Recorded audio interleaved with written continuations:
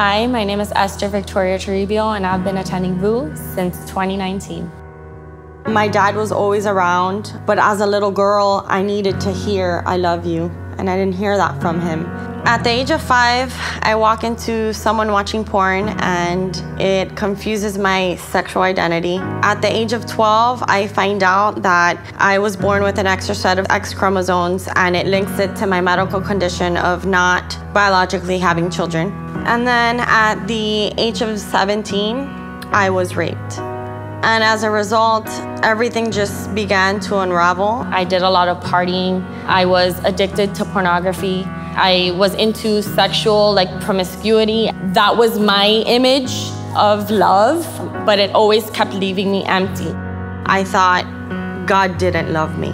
My younger sister invited me to a Bible study. I felt the conviction of the Holy Spirit, and I knew then that I had to leave everything behind.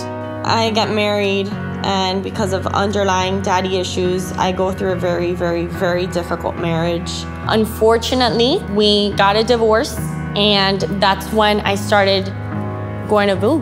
And I get invited to a VOUS Girl home, and I knew in my spirit that I needed the community. And if it wasn't for Nathi Wang's group or Melinda's group, I wouldn't be where I'm at today because of the community of women in that specific group. I just kept coming back.